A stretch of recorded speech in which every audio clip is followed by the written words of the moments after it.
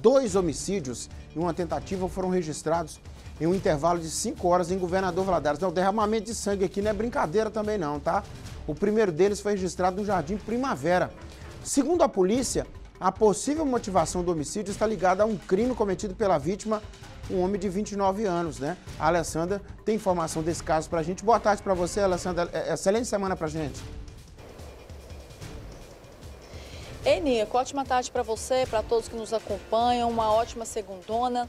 Então, Nico, vamos começar falando aí deste triste caso, né? Mais um derramamento de sangue, como você bem falou. E eu começo falando do primeiro homicídio, que foi registrado no final da tarde do sábado.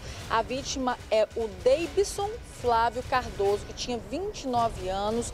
Ele foi morto com dois tiros e ele estava no bairro Jardim Primavera.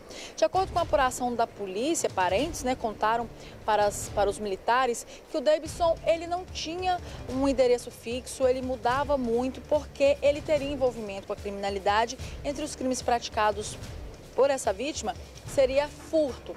Além disso, a polícia também é, apurou ali, dentro de toda aquela situação, que o crime pode estar ligado a um assassinato que o Davidson, agora vítima, teria cometido, teria se envolvido é, tempos antes, né, alguns anos aí, algum tempo, o Davidson estar envolvido com um assassinato. Isso no tempo, num período ainda que ainda era adolescente. Nico, é com você. É.